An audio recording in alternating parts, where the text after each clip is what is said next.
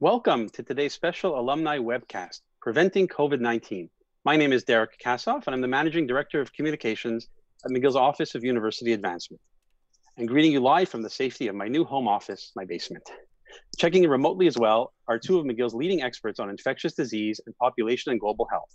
Dr. Marcel Behr is the co-director of the McGill Interdisciplinary Initiative in Infection and Immunity and interim director of McGill's Infectious Diseases Division. Welcome, Dr. Behr. Thank you, Derek, for having me. And we've got uh, Dr. Timothy Evans, inaugural director and associate dean of the School of Population and Global Health in McGill's Faculty of Medicine. Welcome, Dr. Thanks. Evans. Thanks, Derek, and thanks for having me back. Great, and thank you both for uh, taking time out of, I'm sure, what are very busy schedules. Um, so we've received well over 100 questions from alumni all over the world um, in the last 24 hours. Uh, and we'll try to get to as many of these as we can. We'd originally scheduled 45 minutes for this. Uh, both doctors have told me they're willing to stay on a little bit longer um, if need be. So uh, we'll try not to take too much of your time, but we've got some wonderful questions that have come in. But before we get into them, I'm curious to know a little bit about how infectious disease experts and professors of global health, such as your such as such as yourselves, um, spend your days uh, in the height of a pandemic. Um, Dr. Behr, what does a typical day look like for you these days? Um, well, thank you for asking. A typical day feels a little bit frenzied. I'm getting probably 10 times more emails, 10 times more texts, uh, a lot of questions, a lot of good questions, a lot of thoughtful questions. And um, a typical day like today, I started off and I put my phone aside so I could have 15 minutes to have a cup of coffee and relax. And during that time, my Fitbit rang two times and my phone was nowhere near me. So I had to hang up on my Fitbit. And by the time I went back to phone, the other person wasn't available. But that's how it is. I managed to get to the hospital. I'm still working at the hospital because I'm the division director of a hospital unit, and I'm trying to help as best as possible coordinate our hospital plans here, and also try to help as much as possible make sure that all the people in my division have the resources, and also occasionally some mental health breaks, uh, and just so that they get some moments away from all of this. Great. Well, I, our uh, hats go off to all of you in the healthcare system, of course, working double duty to try to get all of us through this. Uh, Dr. Evans, what about yourself? What, uh, what do your days look like now? Well, I only wish I could get as many emails as Marcel. Um, so, uh, but um, I know very busy. Um, I, have been working with the uh, uh, Planning and Emergency Operations Committee at McGill University.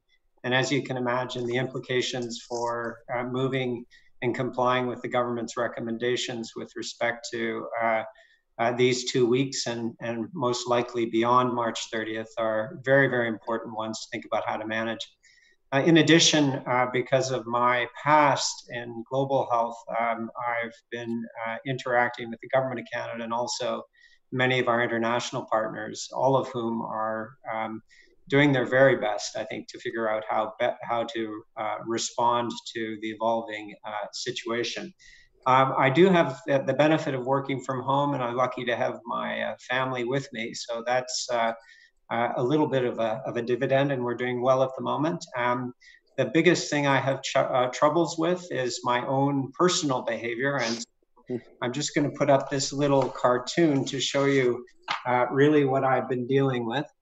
Um, and if you can see that, um, this is um, a picture of my dog uh, telling me not to touch my face. Uh, and I have uh, borrowed um, the plastic container that uh, prevents my dog from putting its paws on its face um, so to uh, try and reinforce that. So uh, mm-hmm. the short message there is I'm trying to uh, walk the talk on the recommendations of behavior change, which are so important in, in managing uh, the epidemic and pandemic at this point in time.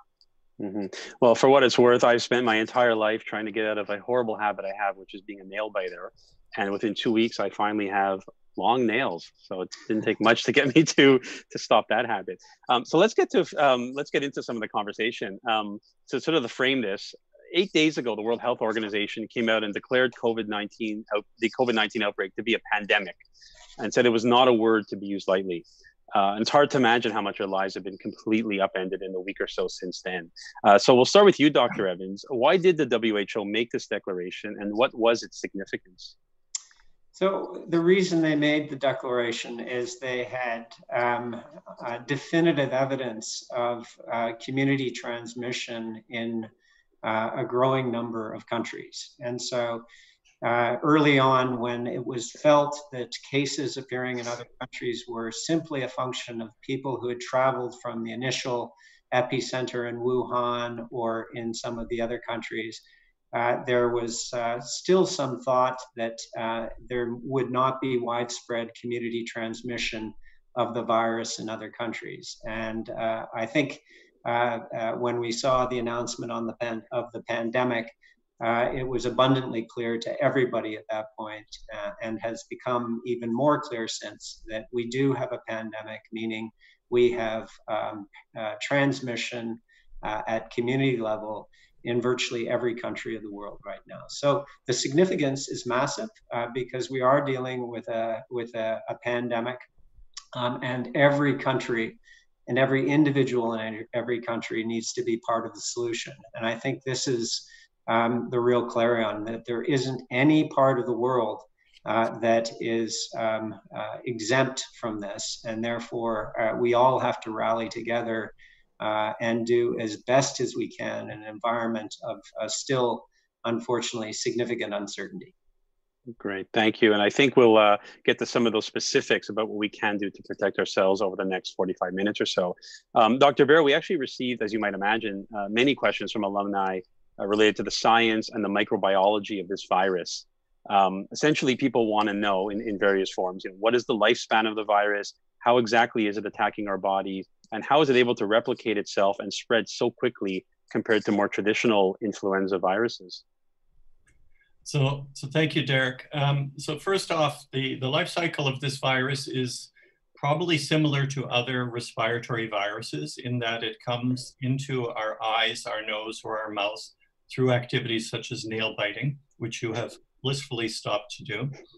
And then it finds cells in our respiratory mucosa where it enters and then it replicates. Viruses are not self replicating like bacteria. They need to borrow our cells to live and to replicate. So they have to enter cells, they replicate, and then when there is shedding at a later point, we have a current median incubation period in the three to five days or so when you are sick, then it comes out of those same secretions and goes to other people. The question is, uh, I think one of the part of the questions is why is this different than with traditional viruses like influenza? Currently, the estimates of what's called the R naught or the transmissibility or how many second infections are caused by first infection are generally on the order of two to three. And classically, for a disease like influenza, the R naught was perhaps lower, perhaps closer to one. So that suggests that every case is causing more secondary cases. Now, what I don't know, and I'm not sure if other people know, but I would invite Tim to give his input, is whether this is because there's a higher viral load and people are shedding mm-hmm. more virus, so you're more likely to transmit, or whether there is actually less pre existing immunity, so that everybody who is infected is more likely to get disease because this is a new virus and people are presumably not immune. So, whether it's a pathogen determinant or host determinant that is resulting in this higher R naught is something that I think is currently uncertain. Tim, do you have any further thoughts on that? Uh, no, I would uh, agree that uh, we don't have definitive evidence on that, although a very interesting study from China just emerged this week, which suggested that uh, about 86% of the transmission of the infection uh, in China uh, during the epidemic, the peak of the epidemic, was likely to be due to people who were asymptomatic, um, so uh, not showing active signs of infection. So there is some suggestion, I think, uh, based on that, that um, this uh, this um, virus uh, can transmit quite efficiently, whether it's due to viral load or host um, uh, issues uh, related to lack of immunity. I think um, uh, we'll we'll only answer that question when we have a test for um, whether or not people are showing antibodies to uh, the virus. Could I just follow up on Tim's point about the majority of transmission being from asymptomatic people? I'd like to suggest that before we think that everybody who is asymptomatic is therefore transmissible, we should remember that there is the per capita risk of transmitting and the per population risk. So on a per individual risk, if you are sick and you are sneezing and things are coming and you're crying and you're blowing your nose, clearly you are going to be shedding more virus than asymptomatic people. However, when there's a population of 4 million people, then the force of transmission from asymptomatic people will become more evident, in my opinion. Mm-hmm. Great. Well, thank you both for for that, uh, Dr. Evans. On our first webcast on this subject over a month ago now, uh, back when we thought this was still, well, we knew it was still contained mainly to China at the time. Um, you spoke a lot about the concerns you had that in this global interconnected world that we live in, uh, we're really only as strong as our weakest link. Um, and I'm sure that when you were thinking about countries that would be the weakest link, you were not thinking about places like Italy or the United States. So, what does it tell you about this outbreak that even some of the world's most scientifically advanced nations have been unable to contain the virus and stop its spread? Were we simply unprepared? Um, I think the short answer to that question is yes, and and I think uh, we uh, underestimate uh, uh the shared risk that we all have with respect to global pathogens, um, and uh, uh, I can't emphasize um, how important it would have been for all countries to move much much more quickly in uh, ramping up their preparedness and response. And the best manifestation of that is in testing. Uh, so if you look at South Korea, which has uh, done a very good job in managing uh, the outbreak, um, they are the country that has tested the most. Uh, they're up close to 300,000 tests. Their test rates per million population are uh, uh, climbing up over 5,000 per million. And if you compare that to Canada, uh, we're probably somewhere around 500 per million tests, way under tested at the moment. So we can't uh, sit back and think we're doing particularly well.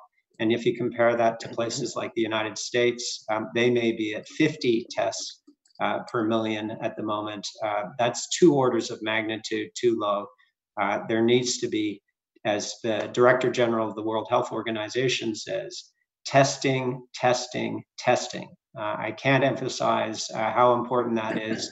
That's the best mark that you're understanding where those infections are, who the contacts are, and where you need to direct resources to get on top of it. So, yes, um, uh, the weakest links are in the systems that um, uh, sometimes think that they're not going to get this as opposed to having great scientific might. If you're on your heels here, um, unfortunately, uh, you're going to pay for it. Mm-hmm.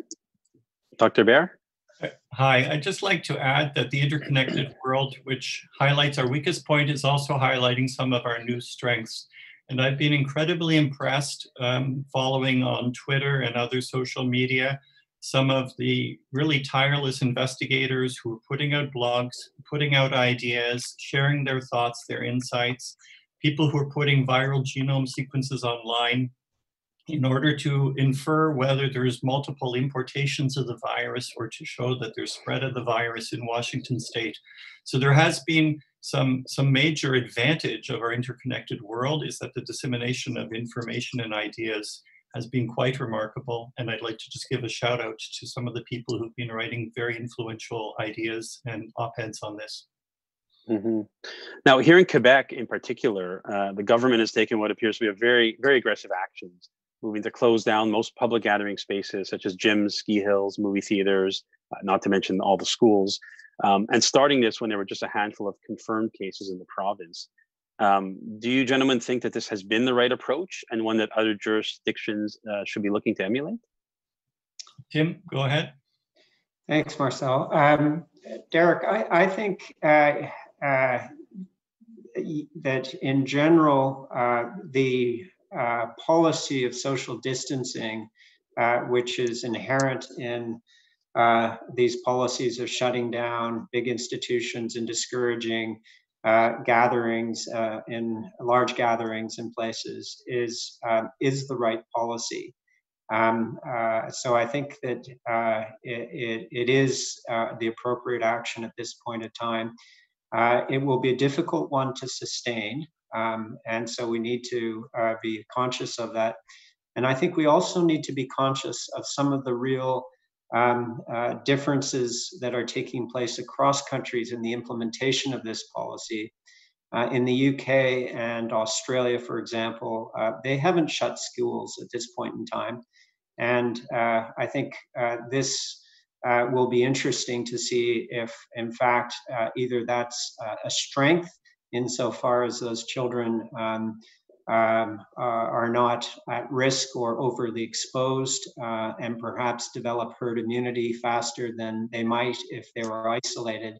Um, and uh, whether or not uh, and uh, uh, we can manage looking at the consequences, perhaps the unintended consequences of keeping children at home, uh, which may put more stress on parents, more contact with grandparents, and therefore um, uh, adversely um, increase the risk of transmission to uh, the elderly. So I think on the my in sum, I think in general the policy is the right one. I think there is some active and healthy discussion on on what the the risks and benefits are of um, uh, social isolation or social distancing for um, the youngest part of our population.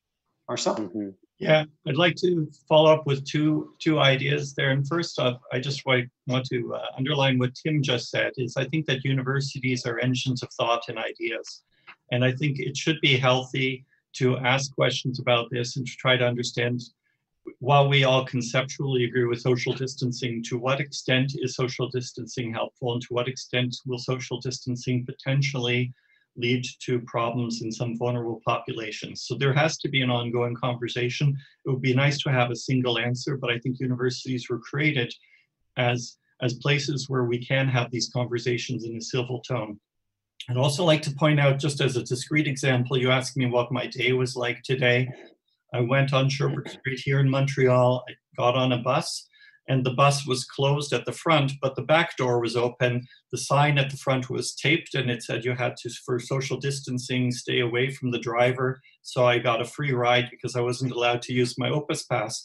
And I thought this was a beautiful compromise that the infrastructure of the STM is there and it's available and it's helping people to move. And the people who have to shop have to shop, and the people who have to get to work have to get to work. While at the same time, I'm respecting the driver's need for space.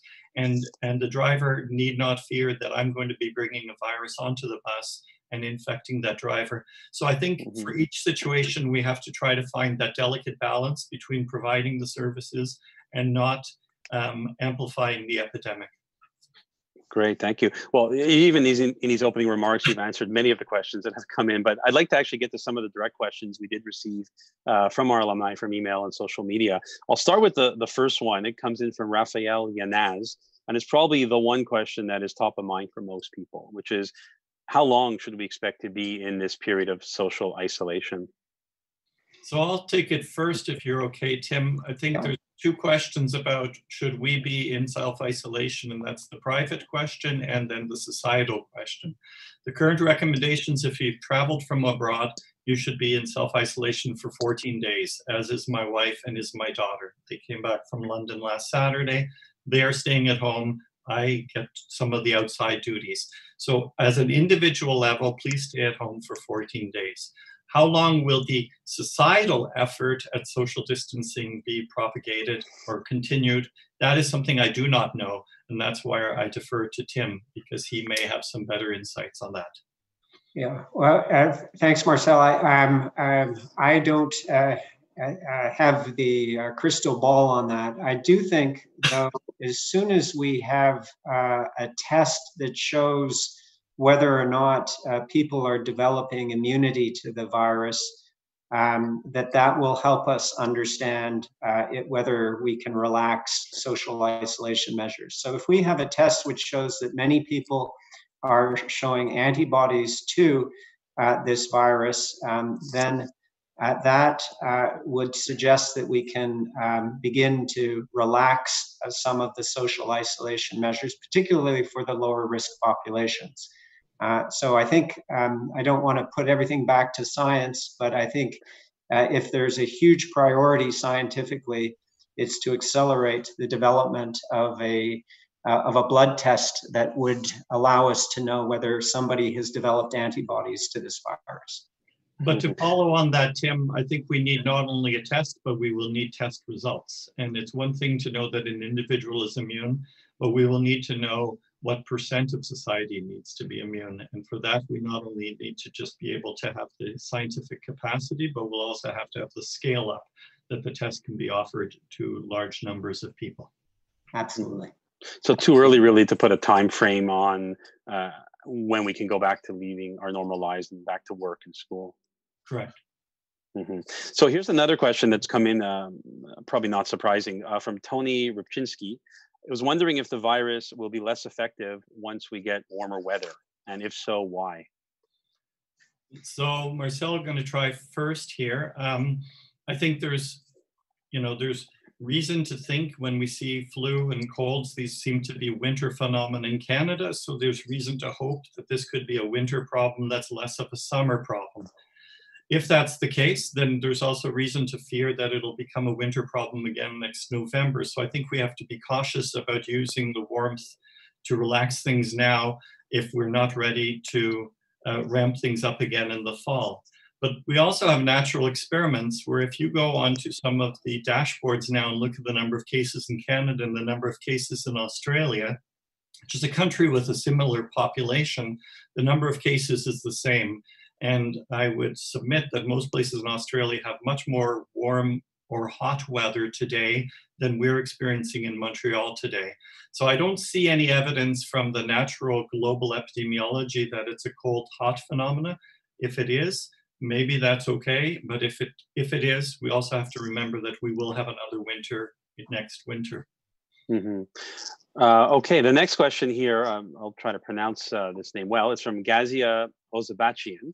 Uh, an excellent question. Um, what are the steps to take if one starts feeling symptoms? Who do we call and what do they actually do to help patients? Are people advised to stay at home to recover because hospitalization is not necessary? Or is it because there's not enough spaces and care left? So that sounds like a medical question. So I guess that's directed at the head of infectious diseases.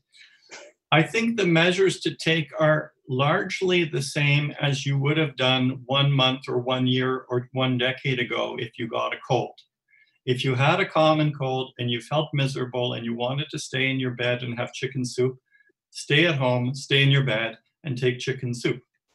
If you are feeling too sick to manage at home, or because you have a pre existing disease and this is exacerbating your pre existing disease, and one year ago, you would have gone to the hospital because you were too sick to stay at home. Right now, if you're too sick to stay at home, go to the hospital. That hasn't changed. I understand there's a fear of going to the hospital and acquiring infections and making things worse. But on the other hand, the general indications for hospitalization haven't changed, which is a hospital can offer you a level of care you cannot get in your home.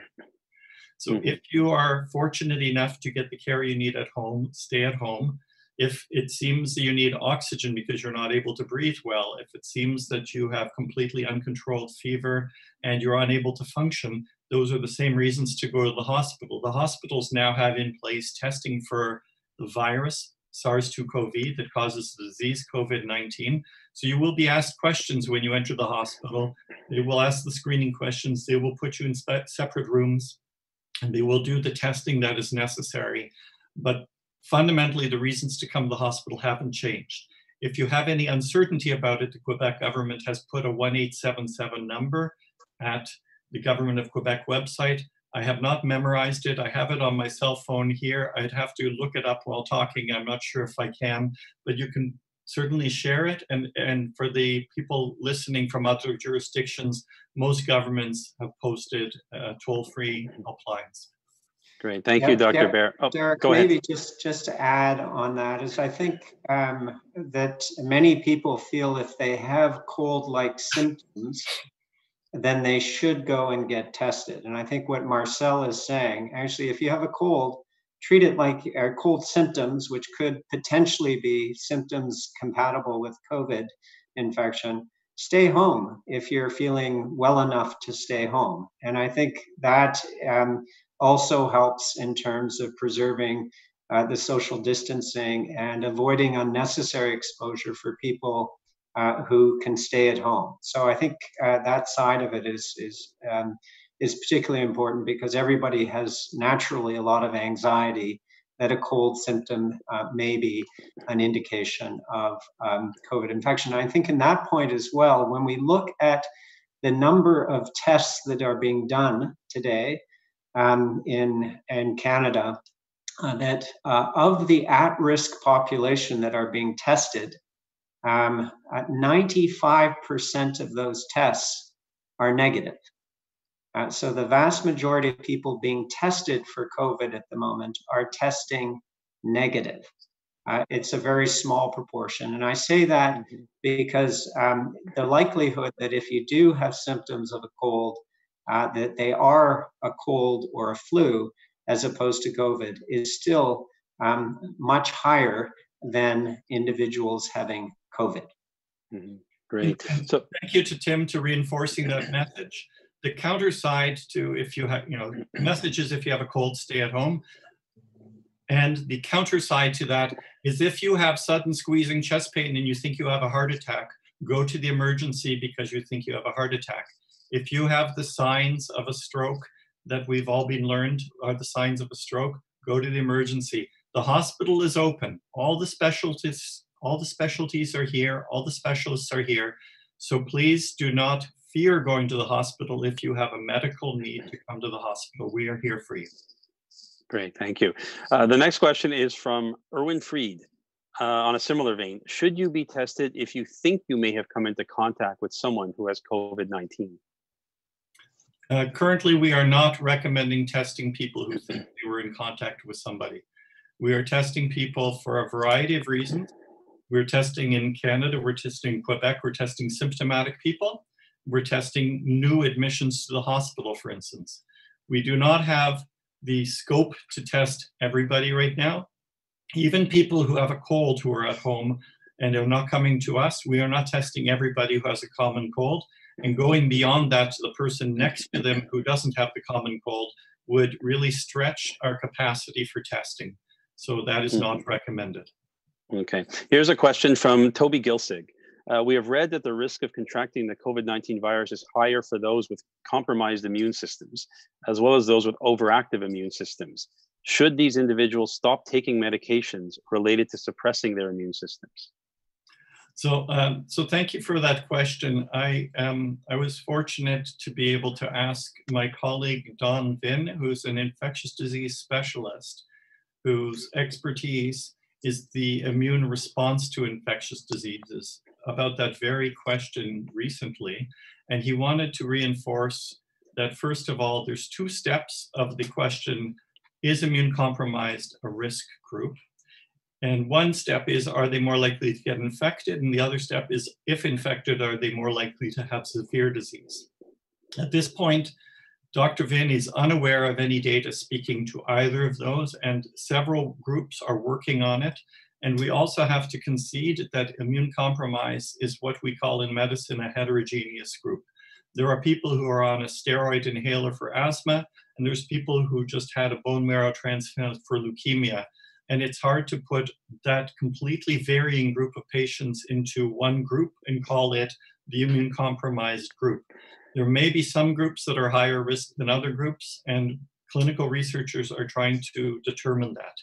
The second part of the question is if you have a heart transplant and you are living today because somebody gave through um, a bequest and through the autopsy process a heart to you, so you are walking on the street, continue your anti rejection medicines do not lose that heart now. This is not the time to stop the standard medicines that you need for your transplant, the standard medicines that you need for your lupus. There is no recommendation to withhold immune suppressive drugs and make your other conditions worse. Great, thank you. I got one more medical question, and then I've got a whole bunch for you, Dr. Evans. Don't worry. Uh, but this one came out in a few different ways. Um, Kimberly Uhas, uh, in particular, was asking: Is it safe to take ibuprofen and why are physicians in France saying otherwise? So my understanding is that um, there's an association between ibuprofen use and poor outcomes. What is unclear in the absence of what's called a clinical trial is whether there is something that's called confounding by indication, which is did the ibuprofen make people worse or did the people who were doing worse take the ibuprofen? At this point, we don't know, but the association has been concerning enough that the WHO has pronounced against ibuprofen because in general, when you think of any medicine for any intervention, you have to ask, does the benefit in, uh, outweigh the risk? In the case of ibuprofen, there is no proven benefit. We have no way to quantify that ibuprofen use gets rid of the virus or ibuprofen risk use makes you better. So since there is no demonstrable benefit, it is quite prudent to say don't take it because there's a potential risk. But whether it's cause or consequence remains to be determined. I agree with the recommendation, and our own hospital guidelines recommend against that class of medicines for a COVID case. Great, thank you.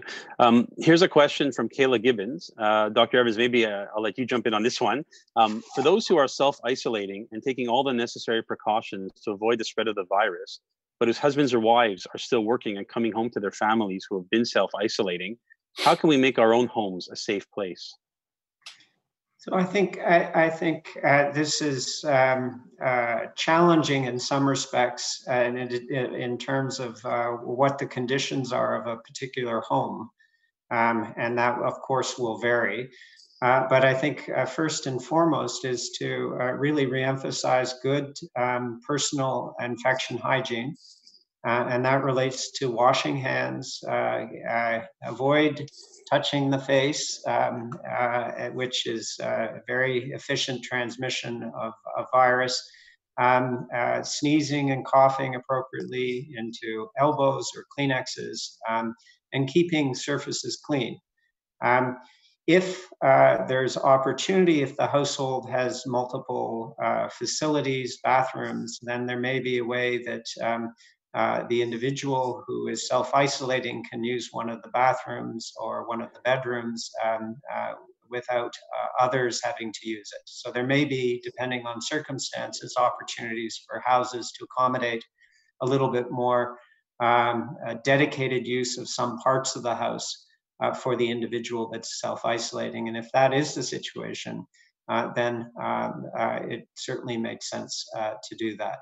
Um, so I think uh, those would be my suggestions on, on that front. Uh, of course, anybody who is living with somebody who is um, self-isolating has to, of course, um, monitor their own uh, symptoms and, and should they develop symptoms, then they should also report those. Mm-hmm. A lot of questions have come in, as you might imagine, about transmission um, and whether the virus remains airborne and for how long. I want to get to a specific one. It's quite specific, but I think many people have this similar anxiety. It comes from Sharon Brandt, uh, who says she lives in a modern condo in downtown Toronto uh, and is wondering if she should turn off the air conditioning, heater, or blower in her unit. Will the virus travel into her apartment via the air that way? So, so currently there's no evidence that viruses are traveling from one room to the other. There are infectious diseases like tuberculosis, where it has been shown in the past that if you take the air from a patient room with tuberculosis and then bring that air into another room, the guinea pigs can get sick. And that's what's called aerosol transmission. In the case of coronaviruses and most respiratory tract infections, the primary route of transmission is what's called droplet transmission. You sneeze, you cough, something comes out uh, and hits somebody's face or eye or whatever. That's the primary route of transmission. We are talking in the hospital about what are called aerosol generating procedures. So an aerosol generating procedure is when somebody is very sick and they need to be intubated. And at the time of intubation, they may gag and there may be suction. And then you can imagine where there will be kind of a cloud of virus floating around them for a short period of time. But with time, it will settle and it will land on the ground or land on the table, and that's the surfaces that we have to clean. It will not fly out into the air and out the ducts in the top of the room and then transmit to the next rooms. So my advice to somebody who is in a closed condo right now is if the weather is nice, open the windows and enjoy a stream of air from outside. And if you have a chance, go outside and go to the nearest park and enjoy the beautiful weather. There's, I, I, see there's a lot of very good spirit of people seeing each other in the park and talking to each other and keeping distance. So I wouldn't stay in the condo, but I wouldn't turn off the heat either. Great. Uh, a, a, similar question from Beverly Barenbrom uh, was wondering, do we know how long the virus lasts on inanimate objects? Uh, for example, when we're buying groceries, do we have to worry about bringing them into our homes? Um, there are, of course, studies looking at how long the virus lasts on plastic or glass or copper or cardboard, and I'm not going to pretend I know the exact number for every surface.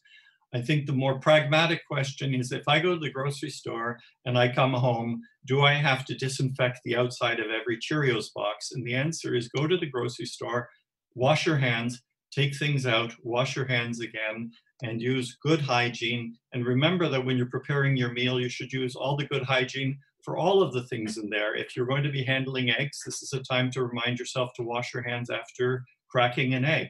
This is the time to make sure that you don't use the same breadboard for the chicken as you use for the salad, because this isn't the only microbe that we are encountering, and common sense and hand washing will help you to reduce your risk of many different microbial exposures. Mm-hmm. I've actually been thinking a bit about that, and, and you know, one day, hopefully soon, we will be out of this and beyond this.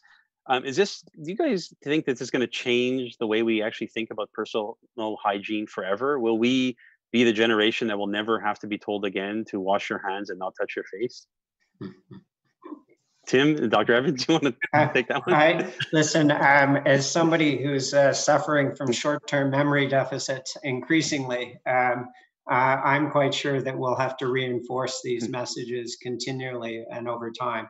Uh, I think you're pointing, Derek, to I think one of the benefits uh, is that if we can exercise better infection hygiene, um, then we may not only uh, uh, slow the progression of COVID 19, but we may also limit transmission of other uh, pathogens that uh, Marcel deals with all the time, some of which uh, have patients ending up in the hospital, uh, like salmonella and things. Um, and so the, the what we say in economics, the positive externality, the benefit of this goes far beyond COVID and um, I think it is right. Uh, there will be some lasting effect, but we will have to continually reinforce um, these sorts of behaviors just because um, uh, they often get forgotten uh, um, two or three years after the, or you know, some period of time after the uh, scare. So uh, I, I, think uh, it's the right direction, but I can't imagine that we're going to put public health officials out of work in terms of infection hygiene. Great. So on that note, I, I did want to maybe, oh, sorry, go ahead. Hey, I'd just like to point out that one of the great things about my job is I learn something new every day, and I just learned about positive exponentiality. So thank you very much, Tim. great. But I do want to actually maybe use this. Uh, we wanted to talk a little bit uh, about the situation uh, or the solutions being developed in some of the Asian countries. And when the WHO had their press conference last week, uh, announcing this to be a pandemic. They did, in fact, single out China and South Korea for praise for taking steps to slow down the spread. Uh, I read in certain media reports that part of that is cultural because these are countries that have experienced uh, serious outbreaks in the past, uh, whether it be SARS or, or avian bird flu. Um, so maybe you can talk a little bit to us, Dr. Evans, about what exactly is happening in, in these countries, specifically China, Singapore, South Korea, uh, that the rest of the world might want to take some lessons from? Um, and are we, as you know, uh, citizens of liberal democracies in the West, willing to go so far as to abide by some of these measures? Yeah, so great question. And and Derek, let me first state that um, a, a, number of the countries that you refer to are liberal democracies, um, and and so I think uh, it's very important uh, to recognize that uh, um, there are a number of countries outside of China, including Singapore, South Korea, Thailand, where you have uh, active democracies that uh, are, are certainly very different from the political system in China. However, more fundamentally, if you look at what's being done, uh, there is a tremendous amount to learn. And, and as I mentioned earlier, um, I, I, believe if you have to put a, country up on, up, up on a pedestal at the moment, uh, not to jinx them, but to simply say uh, their experience has a lot uh, that the rest of the world can learn from, and that's beyond China. Uh, it is South Korea. And uh, if you look at the extent to which they have been on top of testing uh, since early February, and the way the way in which they've ramped that up, um, it is uh, absolutely, um, uh, I think, the way to go. And I can't stress that enough because uh, in our own country, I think we still are not scaling up our testing. And uh, I've communicated this to various government officials, but um, I think we need to uh, move it up at least another log order, tenfold, in order to get on top of this. Um, so that's number one lesson. Number two, uh, you have different experiences with respect to lockdown. Um, China, it seems as if it was uh, quite important and effective. Uh, the Korean Minister of Health said that lockdown actually created more problems than it was worth. Uh, because people, uh, uh because of issues related to compliance, and people knowing the lockdown came, was coming would would move, and and that created problems with getting compliance with testing. So I think that sort of experience is um, it, it is extremely important. The third is how to think about managing the surge that will be felt on um, uh, your hospital infrastructure. And we know everywhere uh, that there is likely going to be a, a, very steep increase in need for hospitalization and in particularly intensive care um, with ventilators. Uh, I think the experience of China, South Korea, uh, in accelerating expansion of that infrastructure and the human resources to deal with that uh, has a tremendous amount uh, for us to learn from. So I think those are, are, are lessons that are not conditional on politics, uh, other than political will. And I think mm-hmm. what we're seeing is our leaders are, are stepping up uh, but what we really need to see is tangible, clear plans uh, on testing um, and, in particular, on supporting uh, the surge capacity for hospital care um, in order to uh, secure public confidence that we're actually doing everything that we can to, to manage this uh, pandemic. I'd like to just add that I think there's many natural experiments going on in the world, and it's there's a risk of oversimplifying and saying China is doing well because they are communist, or Italy is doing well because people kiss each other on the cheek twice. And, and there are so many different countries and there are so many different factors between healthcare systems and social norms. And I think we should definitely, you know, we should be very prudent about just comparing two and saying it's because of one leader or one country. And we have to think through all of the possible facets. And then we have to convert the possible facets into actionable intelligence. And as Tim says, one of the things that seems to transcend all boundaries and borders and political parties is that testing is good and more testing is better. Mm-hmm. Could I, Derek, just to come in and not to, to continue on this, but I do think also the reporting on testing is particularly important. And then just drawing on Marcel's suggestion of learning from other countries, if you go to the UK Department of Health website, uh, they report uh, on the epidemic uh, every day by starting saying this number of people have been tested, this number of people tested positive, this number tested negative. And if you look at that, and if the media started te- uh, reporting on the numbers tested and in particular, the numbers testing negative, then it would change perceptions that everybody, every new case means that everybody is getting infected. And I think this is the sort of communication that would help manage ex, uh, perspective, um, both with politicians, but also with the public. Uh, and I think these sorts of data are real data and very helpful in putting risk in better perspective. So I do think uh, there's an opportunity to learn from better practices on reporting, which are not only what government reports, but how the media picks that up and also reports it. I, well, I appreciate that, Dr. Evans, but I'm just wondering, uh, while I appreciate the reassurance that some of these test results might provide us, is it not a bad thing that the population is a bit scared right now and therefore more abiding of social distancing and other measures? I think um, uh, I don't think there's any issue here with respect to the extent to which uh, people are aware that this is a serious threat. And uh, I think by putting things into perspective, it's not to suggest somehow that we're not dealing with a very serious problem. Uh, but it does, I think, uh, uh behoove us uh, not to paint everything as an Armageddon scenario when in fact the data don't support it. And I think mm-hmm. it's a responsibility uh, for good governance to present the data uh, as they are or as best as we understand them. So I think uh, that's a difference. It's not to suggest uh, telling people the truth is uh, uh, is uh, is the same as saying don't be concerned. It, we're simply suggesting tell us the situation really as it is, and then continue on. No one is suggesting that we're going to back off on any of the uh, measures that we're taking with respect to social distancing and uh, active testing and getting people into care as appropriate. Mm-hmm. Um, so, eh, being cognizant of time, and I appreciate the fact that you're both willing to stay on maybe a few more minutes. I do have a few more scientific questions. Maybe I'll turn to you, Dr. Behr. Maybe we can do some quick rapid fire here and try to get through a few of these. Uh, a question from Erica Can the coronavirus get into our water and survive? Um, if I understand, the question is about our drinking water and not going canoeing or swimming in the water in Canada right now. And there's no evidence that it is transmitted through our water supplies.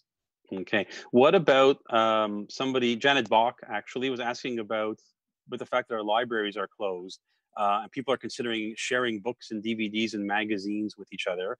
Is it overreacting to think that doing this could be dangerous? It's not a, a, complete overreaction because we're being told to wash our hands and try to keep things clean. If you are in the house with somebody and you're sharing a DVD, that I think is reasonable. But we actually also have many options to get ebooks and to download things so that if you don't want to go across town to meet somebody to pick up a magazine, see if this is the time that you should consider getting an electronic subscription. It's the same content, it just you don't get to turn the pages. Mm-hmm. Question from Nicholas Matosian. Should we be wearing masks even though they are deemed to be only partially effective? Well, the, the, that's sort of mm-hmm. two questions. And the one question is Are masks partially effective? And I guess mm-hmm. that question depends on effective at what and for what. But I think the main mm-hmm. question there is Should a healthy asymptomatic person who is well going to the park wear a mask? And I say the answer is no. When I walk to work, I don't wear a mask. When I walk home, I don't wear a mask. Should healthcare workers wear a mask if they go into a room with somebody who has COVID 19 or suspected COVID 19? Yes. What mask should they wear? They should wear the mask that their infection control officers have deemed necessary depending on the severity of the illness and the procedures going on. There are clear directives in the healthcare system about when to wear a mask and who to wear a mask. But people who are walking to the park and back, that is not one of the reasons to wear a mask.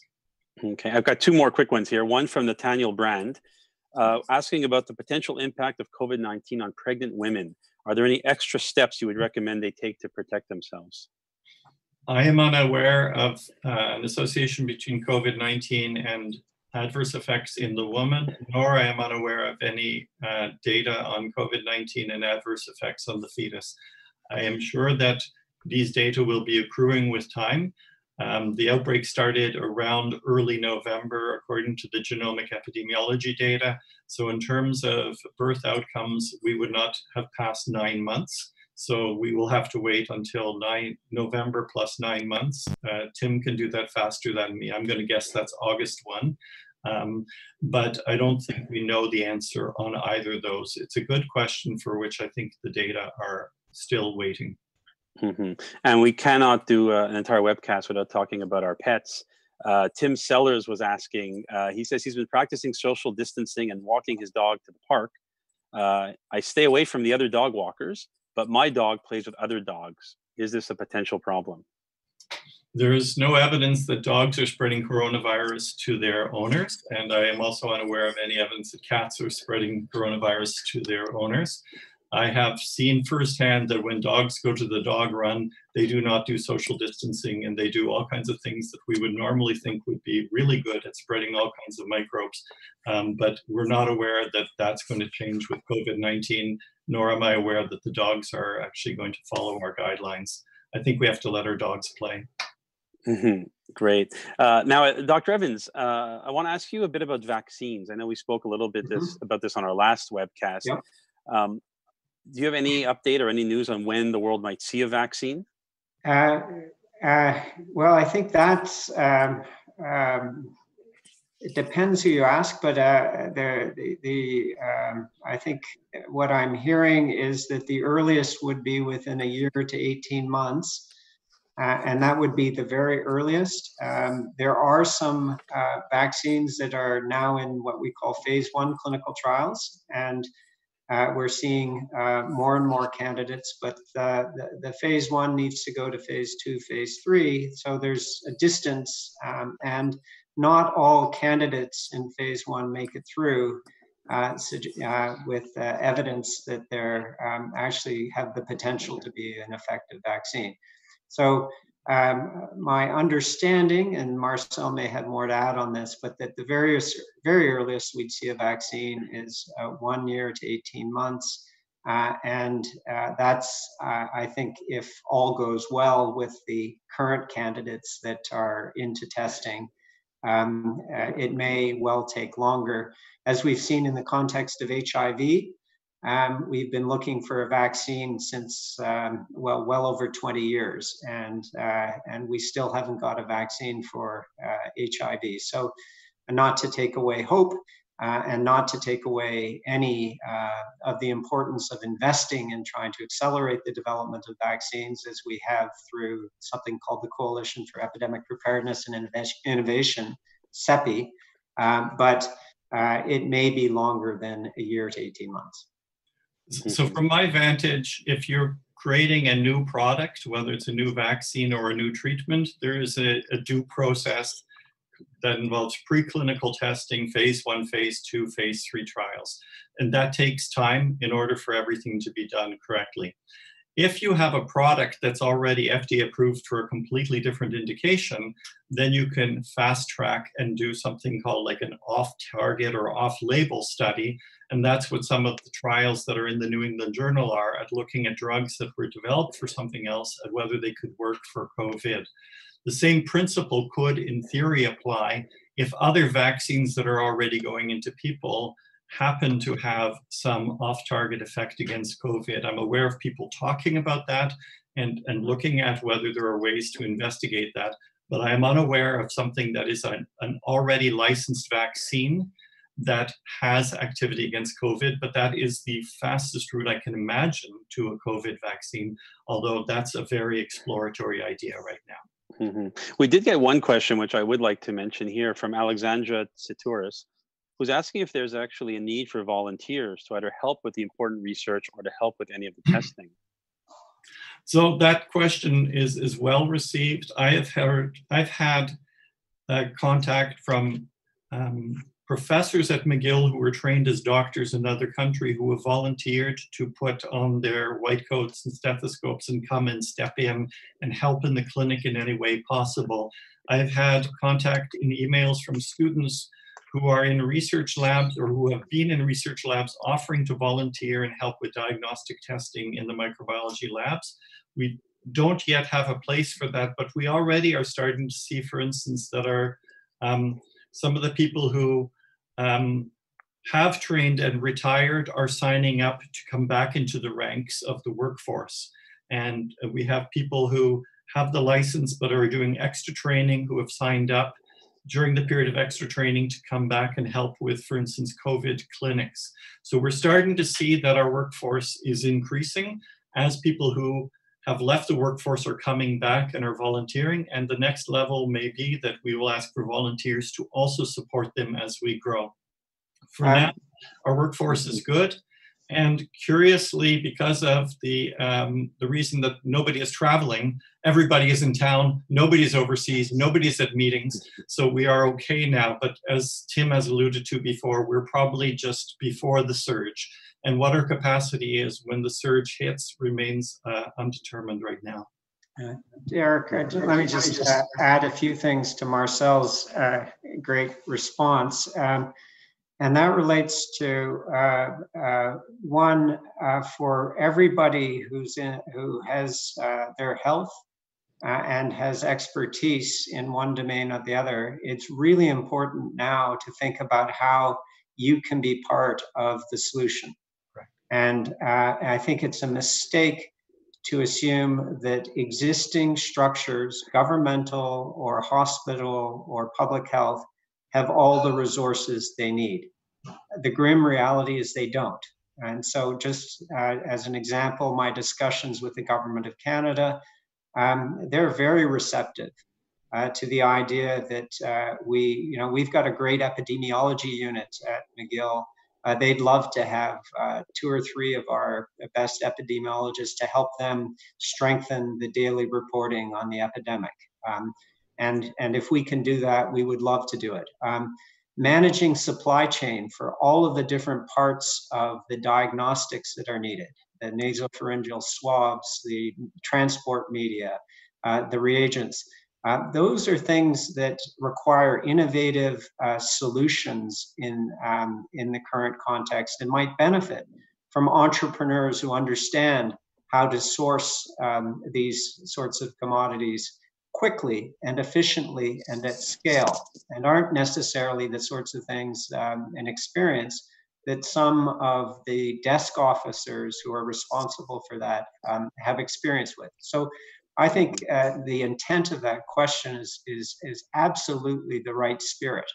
Um, let's see how you, in your own experience and expertise, uh, can play some positive role to strengthening the response. Uh, and I think if we do that collectively, uh, that's going to uh, make a significant difference in managing and responding to the current situation. Now, that would be a great uh, question to perhaps end on, but I do have to ask you um, this next one. I know the answer. I'm hoping you can each answer in one word, but it's such a great question from Peter Lippman. Is there any rational explanation for the apparently overwhelming obsession with toilet paper? No. Dr. Evans? No. okay. Um, so let me ask actually one final question. I have one of my own, which I'm hoping to maybe end on on some some some good hope. Um, but as you know, we're hit every day with an onslaught of grim statistics and, and bar graphs. Is there any one data point we should be looking out for, either in our local communities or at a global level, that would give us all a sense of hope or relief that the spread is in fact slowing down and we're nearing the end of this nightmare? So, from my view, I uh, coming back to what Tim said before, the number of tests, the number of tests positive. I don't know what the percent positive means from Canada to Germany to Korea if I don't know who is getting tested. So I would not use the percent positive test. The number of tests could be useful or not, but as you roll out more testing, the number of positives goes up. So I'm not sure if that's the one. So my grim answer, sadly, when I look at dashboards and I look at Italy versus Germany versus China versus South Korea, I'm looking at deaths. I know it's a very sad statistic. There was a fantastic YouTube video looking at the obituary pages in the Bergamo uh, newspaper in Italy, showing that the obituaries went from one and a half pages to 10 pages. And if I see that the number of deaths goes down today, then I can be optimistic that the number of transmissions went down 14 to 21 days ago. I know it's a sad statistic, but that's a hard statistic and it's a very meaningful statistic. Um, so that's the one that I'm currently tracking. Right. Uh, so, as, as somebody who's uh, um, a little bit more optimistic, um, uh, and is uh, obsessed with with tracking uh, the imperfect data on on on uh, numbers tested and numbers testing positive. Um, I think the important statistic to look at is the numbers testing negative. And if that continues, uh, if that trend is trending downward, uh, then I think um, recognizing that most of the people that are being tested are high risk, uh, then that is a sign that I think will lead uh, 14 to 21 days later to a, a much more definitive sign of, of, of, progress, which is decreased deaths. But um, uh, you can certainly see that trend in, in, in South Korea. Uh, and I think if people recognize that we're talking about uh, 90 uh, or 95% of people testing negative going down, going up to 96 to 97, 98, uh, those are indications not only that we're moving in the right direction, but still the majority of people are not getting COVID 19. Great. Well, hopefully that day is not far away for many of us in the world. Uh, so we are at the top of the hour, and that about wraps up the time we do have uh, today, time and overtime. Uh, before we sign off, I would like to remind uh, everyone that this video will be available at this same link uh, very soon after our recording ends. So feel free to watch it again if you'd like, uh, or share it with others who may not have been able to tune in in real time. Um, I'd also like to invite you to keep an eye out for more emails from McGill. Uh, I promise you there will be fewer than you're used to, uh, but we are committed to providing our community with the news and information you need to stay safe and to stay informed, including more webcasts with our academic experts. And finally, I would like to extend a sincere thank you to Dr. Evans and to Dr. Behr for joining us today um, and for sharing some incredible insights with all of us. I know your schedules are, are quite packed and we really appreciate the time you took um, out of your days to speak with us today. Um, and I hope we'll have a chance to connect again soon. Thank you, Derek. Thank you, Derek. Thanks, Marcel. Take care. Thank you.